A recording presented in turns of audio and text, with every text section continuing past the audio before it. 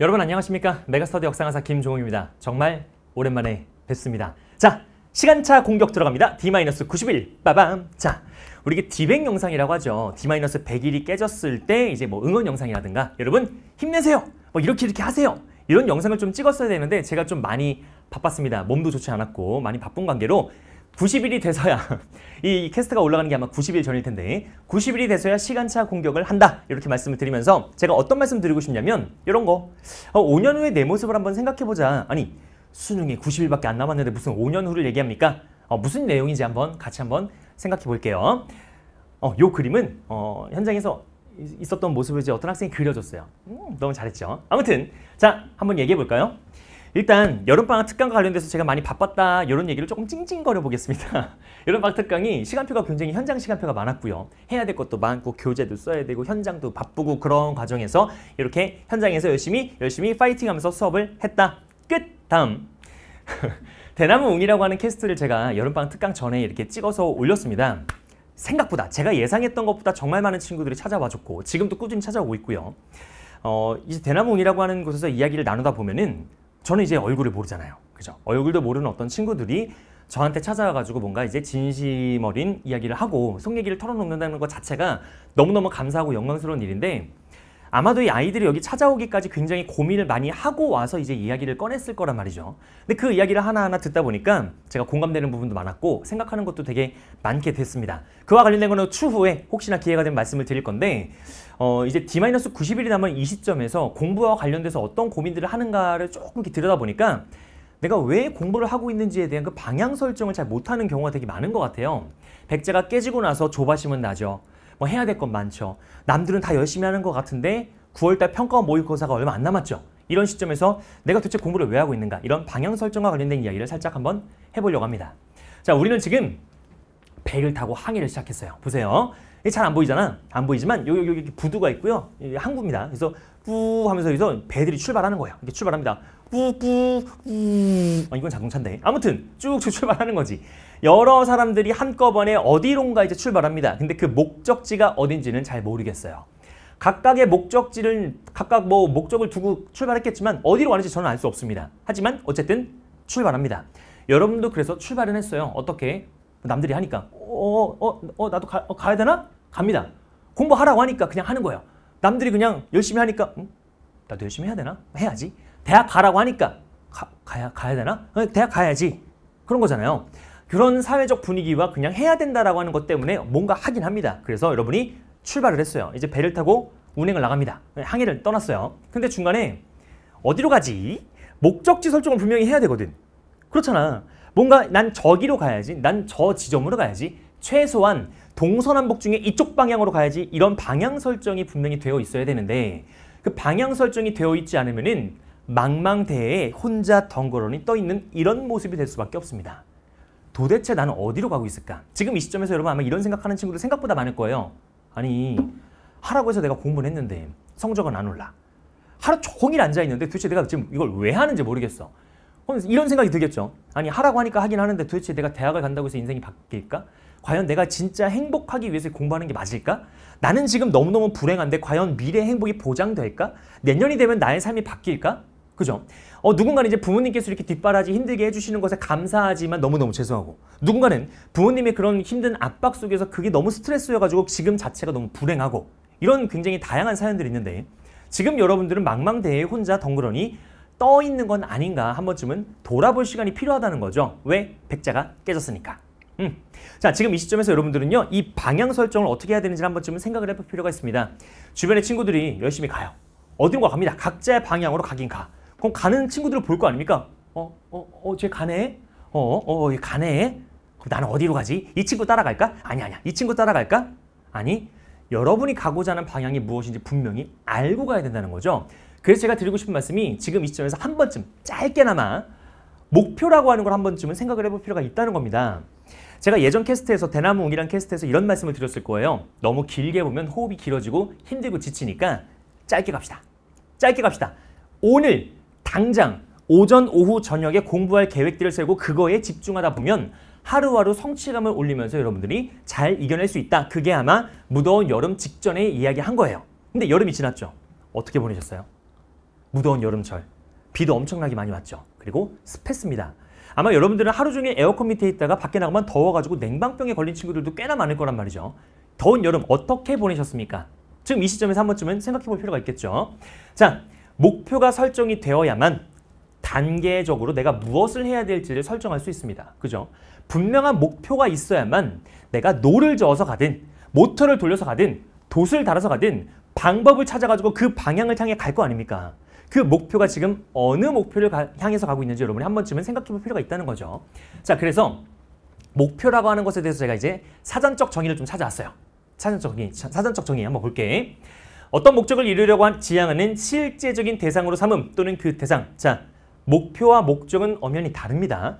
목적이라고 하는 것을 이루기 위한 수단으로서 필요한 게 목표고 그 목표라고 하는 것이 실제적인 대상으로 구체화가 돼야 된다는 거죠. 음, 눈에 보이고 또는 내가 느끼고 내가 추구할 수 있는 어떤 그 대상이 돼야 된다는 겁니다. 그래서 목표의 첫 번째는 실제적인 대상으로 삼아야 된다. 두 번째 볼게. 도달해야 할 곳을 목적으로 삼음 또는 목적으로 삼아 도달해야 할 곳 내가 지향하고 있는 방향성입니다. 그죠? 아 나는 이러한 목적을 달성하기 위해서 이런 목표를 세웠어. 아 나는 이런 인생을 살기 위해서 이런 대학을 목표로 삼았어. 이 대학에 가고 나서 난 이렇게 이렇게 활동할 거야. 그런 어느 정도의 구체적인 목표가 있어야 된다는 거죠. 너무 사전적인 의미만 얘기했을까? 제가 이제 요 사전적 의미를 찾으면서 제가 의미를 두고 싶은 말은 세 번째입니다. 행동을 취하여 이루려는 최후의 대상이다. 목표라고 하는 것은 행동을 취해야 되는 겁니다. 행동으로서 뭔가 취해서 이루려고 하는 대상이다. 행동이 포인트입니다. 자, 제가 90일밖에 남지 않은 이 시점에서 왜 목표를 다시 한번 생각하라고 말씀을 드리냐면 그렇다고 하루 종일 목표, 난 목표를 찾아야지 하루 종일 인터넷 검색 그런 거 아닙니다. 길어봐야 1시간, 30분에서 길어봐야 1시간인데 그 안에 내가 현재 위치에서 할 수 있는 것과 내가 이루고자 하는 그 목표가 무엇인지를 확인해야 뭘 할 수 있다? 행동을 할 수 있으니까. 아이들이 생각은 되게 많아요. 항상 하루 종일 혼자 앉아 있다 보니까 생각은 굉장히 많습니다. 잡생각도 많고요. 어, 내가 이렇게 생각하다 보니까 저렇게 저렇게 생각의 사고의 확장이 내가 이렇게 창의력이 뛰어난 사람인지 몰랐을 거야. 상상력이 막 어마어마합니다. 중요한 건 생각만 했을 뿐 행동으로 옮기지 않는다는 데 있습니다. 내가 뭘 해야 되는지는 알아요. 아이들이 찾아와서 글을 남기죠. 선생님 공부가 안 됩니다. 어떻게 하면 공부를 잘할 수 있을까요? 선생님 집중이 안 됩니다. 어떻게 하면 집중할 수 있을까요? 그렇게 물어보는 친구들의 대다수는 어쩌면 뭘 해야 되는지 알고 있습니다. 아마 알고 있을 거예요. 내가 지금 뭘 해야 되는지 아는데 행동으로 그게 이루어지지 않기 때문에 그게 너무 스트레스였던 거지. 그러면 행동으로 옮기기 위해서 우리가 한 번쯤은 자극이 필요하잖아요. 그 자극을 어떻게 하자? 목표를 다시 한번 생각하면서 그 자극을 받아오자. 요겁니다. 요 캐스트의 취지가 그거예요. 그렇게 보시면 되겠고 자 그렇다면 이 목표를 이루기 위해서 행동을 해야 된다. 근데 여러분이 이제 지금 이 시점에서 따지기 시작했던 거는 하는 거는 디데이입니다. 디데이 뭘까? coming soon 디데이인데 그날이 다가오고 있죠. 음, 아침 저녁으로 이제 일교차가 심해지기 시작했습니다. 그죠? 뭔가 계절의 바뀌는 모습을 몸으로 느끼는 순간 어 어떡하지 수능이 다가오나 이렇게 생각 들 거 아니야. 그렇잖아. 자 디데이입니다. 이 디데이라고 하는 거 저도 해봤죠. 저도 해봤습니다. 특히나 저도 이제 임용고사를 준비했던 그 스케줄북이 아마 대전 집에 어딘가 있을 텐데 하루에 하루하루마다 X 표치고 막 그랬어요. 근데 군대에서도 디데이를 세봤거든. 이게 똑같은 24시간이 지나가는 것 뿐인데 군대에서 말년 병장일 때 D-100일을 체크하고 달력 하나하나 뜯으면서 90일, 80일, 아 언제가 시간이 그렇게 안 갑니다. 근데 공부를 하는 입장이나 수험생활 입장에서는 디데이가 너무 빨리 오죠. 하루하루 너무 짧습니다. 이거 전부 다 뭐야? 심리적인 거야. 결국엔 내 마음에서 이걸 어떻게 보느냐에 따라 달라지는 거 아닙니까? 그렇죠? 그럼 디데이를 바라볼 때 90일이 남은 이 시점에서 여러분들은 어떻게 해야 되는가? 제가 예전에 음, 어떤 캐스트에서 또는 어떤 강의에서 이런 얘기를 했던 걸로 제가 기억하는데 캐스트가 아닌가? 강의에서 했던 걸로 기억하는데요. 제가 이런 얘기를 한번 해볼게요. 김종웅의 연애학 특강 빠밤 뭐 이런 게 있습니다. 제가 이제 연애학 특강 같은 거 이제 현장에서 많이 하는데 어, 장미꽃이 하나 나왔죠? 제가 이제 연애를 합니다. 제가 이제 여자친구를 만나러 갈 거예요. 여자친구 만나러 갈 때 어, 자 물어봅시다. 우리 피디님한테 여쭤볼게요. 피디님 혹시 연애할 때 기념일 언제 언제 언제 챙기세요? 100일? 100일? 200일? 200일은 아니에요. 1년. 좋아요. 아, 1년 좋고. 생일. 좋아요. 어, 어 좋아요. 자, 여러분이 디데이, 어, 디데이 얼마나 챙기세요? 중학교 때 연애할 때는 우리 투투야.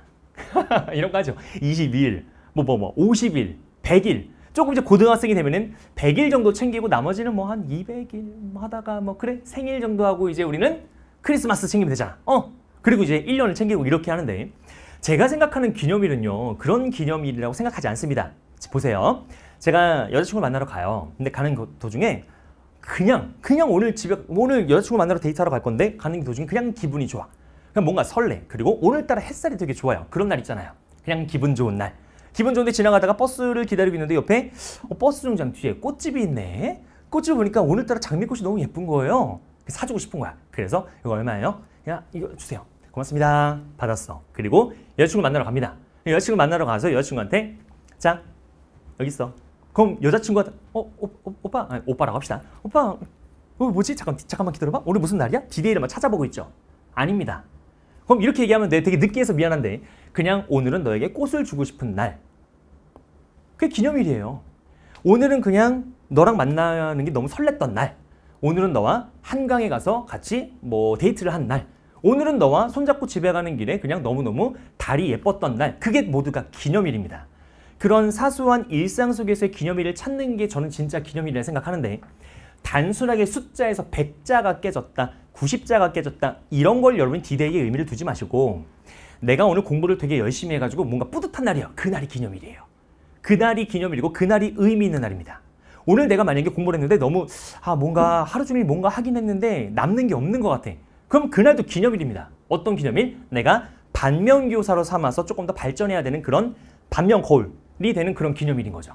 그러니까 디데이가 깨지면서 100자, 90자, 80자 이거 깨질 때마다 마음이 흔들릴 거예요. 어떡하지? 90자가 깨졌네. 80자, 50자 이거 아니잖아. 이거 아니잖아. 그런 게 아니고 하던 대로 꾸준히 하던 대로 하시면 됩니다. 무슨 얘기인지 알죠? 하루하루의 의미를 두면서 우리가 짧게 가자 그랬잖아요. 하루하루의 의미를 두면서 가는 게 맞고요. 디데이를 가지고 여러분이 너무 아, 막 이렇게 심리적으로 위축되거나 조바심이 날 필요는 없다는 거죠. 물론 저도 압니다. 시간이 빨리 가게 느껴지는 거 알아요. 하지만 누가 더 차분하게 누가 더 하던 대로 꾸준히 하느냐가 여러분의 성패를 좌우할 겁니다. 그래서 디데이에 대해서는 여러분이 그렇게 좀 받아주셨으면 좋겠다라고 말씀을 드리고 제가 꼭 말씀드리고 싶은 게 이런 거죠. 오늘이 곧 기념일인 것처럼 오늘은 여러분과 저의 기념일입니다. 왜? 캐스트로 여러분과 얼굴을 맞이하고 인사하는 날이니까. 오늘이 기념일인 거예요. 자, 그런 것처럼 오늘이 곧 수능입니다. 오늘이 곧 수능이라는 생각으로 하루하루를 보내보세요. 오늘이 수능 날이구나. 아, 그럼 내가 이렇게 보내면 안 되겠구나. 자극이 될 수 있겠죠. 확인하시고. 다음, 제가 이제 또 덧붙여서. 자꾸 잔소리가 많아서 미안한데. 덧붙여서 말씀을 드리면 오늘의 내 모습, 지금 오늘의 내 모습, 이 캐스트를 마주하고 있는 오늘의 여러분들의 모습 어떠세요? 좀 만족스러우세요?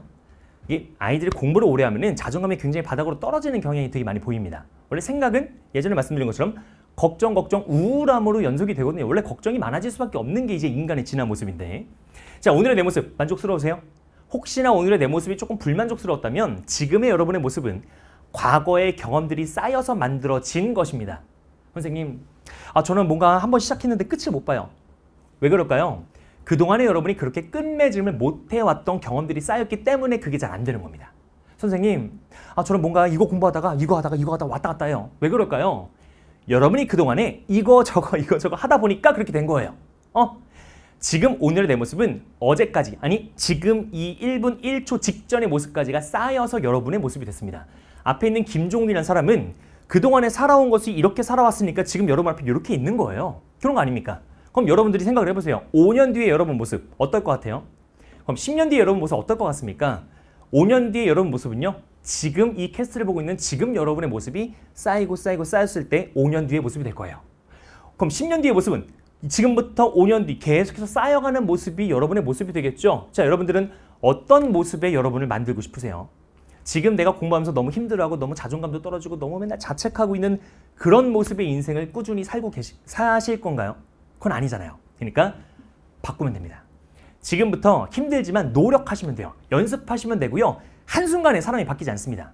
진짜로 한순간에 사람 안 바뀌어요. 그러면 어떻게든 바뀌려고 노력하는 모습들이 쌓이고 쌓이고 쌓이면 어느 순간 그때 가면 내 모습이 지금과는 다른 모습이 되지 않을까 이렇게 말씀을 드려봅니다. 그래서 과거에 있었던 모습이 지금 현재 내 모습이라면 미래의 내 모습은 지금 오늘의 내 모습이구나 라고 생각하면서 하루하루 좀 열심히 하셨으면 좋겠습니다. 자, 오늘 나의 경험이 내일의 나를 만듭니다. 그렇다면 여러분은 어떤 오늘을 보내고 계신가요?